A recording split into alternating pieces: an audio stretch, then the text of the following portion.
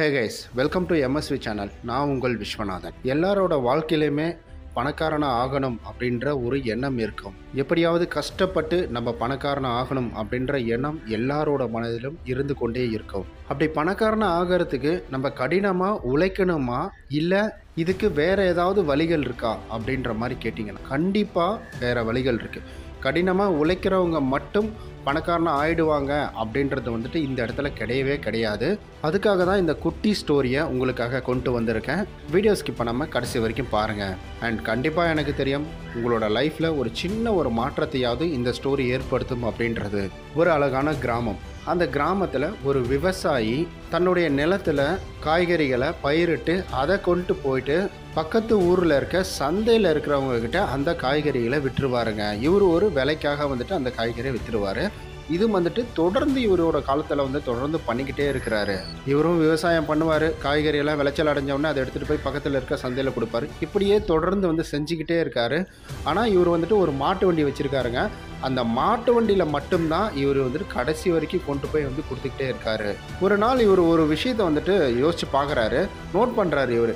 அந்த விஷயம் என்னன்னா நம்ம சந்தையில் இந்த காய்கறியை கொண்டு போய் கொடுக்கக்குள்ள முதல்ல ஒரு ரெண்டு வருஷத்துக்கு முன்னாடி எப்படி இருந்தாங்க?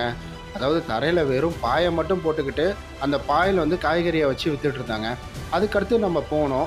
மேலே வந்துட்டு கொடை மாதிரி வந்துட்டு விரிச்சிருந்தாங்க. அதுக்கடுத்து நம்ம போனோம். மேலே வந்து தார்பாய் மாதிரி போட்டாங்க.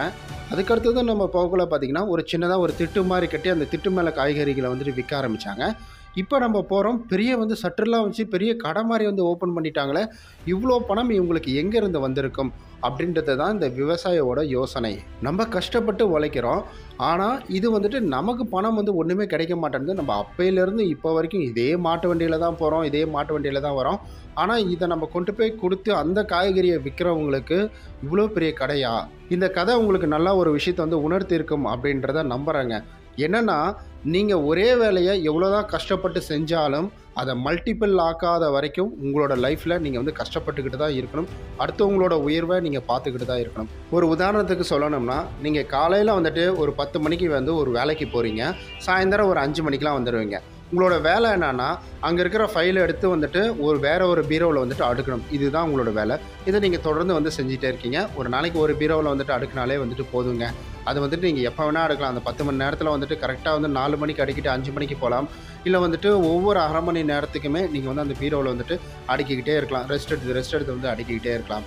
இப்போ இந்த இடத்துல நீங்கள் வந்துட்டு அந்த வேலைகளை நீங்கள் முன்னாடியே நீங்கள் வந்து முடிச்சிடுறீங்க. அந்த பீரோவில் வந்துட்டு அந்த டாக்குமெண்ட் எல்லாம் அடுக்கிற வேலைகளை முன்னாடியே முடிச்சிட்டாலும் உங்களுக்கு மீதி இருக்கிறது பார்த்தீங்கன்னா கிட்டத்தட்ட வந்துட்டு நிறைய ஹவர்ஸ் இருக்குது உங்களால் அதை ஒரு மணி நேரத்துலேயே வந்து முடிக்க முடியும். ஒரு மணி நேரத்தில் முடித்தாலும் சரி இல்லை நீங்கள் ஒரு நாள் ஃபுல்லாக உட்காந்து முடித்தாலும் சரி உங்களுக்கு மாத வருமானம் எவ்வளோ பதினஞ்சாயிரம் மட்டும்தான். நீங்கள் என்ன தான் கஷ்டப்பட்டு எவ்வளோ சீக்கிரமாக அஞ்சு பீரோ பத்து பீரோவாக முடித்தாலும் உங்களுக்கு சம்பளம் அப்படின்றது உயராது.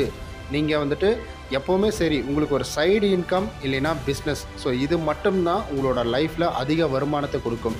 நம்ம வீடியோவில் ஸ்டார்டிங்கில் பார்த்தோம் பார்த்தீங்களா? அந்த ஸ்டோரி மாதிரி தாங்க இப்போ அந்த விவசாயி இதுவே இன்னும் கொஞ்சம் எக்ஸ்ட்ரா நிறையா நிலம் எல்லாமே வாங்கிட்டு அதில் ஒரு ரெண்டு பேர்த்த வந்து வேலைக்கு வச்சுட்டு அப்போ கொண்டு போய் இந்த காய்கறிகள்லாம் சந்தையில் இருக்கவங்கள்ட்ட கொடுத்தாருனா அவருக்கு இன்னும் லாபங்கள் அதிகமாக வந்து கிடைச்சிருக்கும். இவரே பயிரிடுவார் இவருக்கான நஷ்டங்கள் அதாவது இவருக்கான சம்பளங்கள் இருக்குது இவரே அதை கொண்டு போய் வந்து சந்தையில் கொடுப்பாரு.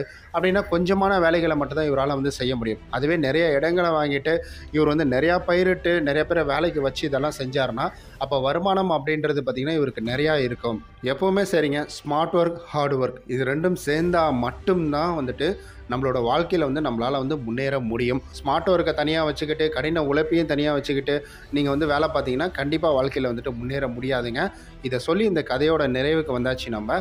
உங்களுக்கு இந்த கதை வந்துட்டு பயனுள்ளதாக இருக்குது உங்களுக்கு ரொம்ப பிடிச்சிருக்கு அப்படின்னா உங்களோட கருத்துக்களை கமெண்டில் சொல்லிடுங்க. ஒரு லைக் ஒன்று கொடுத்துருங்க. உங்களோட நண்பர்கள் யாராவது பணக்காரன் ஆகணும் எனக்கு வழி தெரியல அப்படின்ற மாதிரி நினச்சிட்டு இருக்காங்கன்னா அவங்களுக்கு இந்த காணொலியை வந்துட்டு பகிர்ந்து கொடுங்க. ரொம்ப வந்து பயனுள்ளதாக இருக்கும்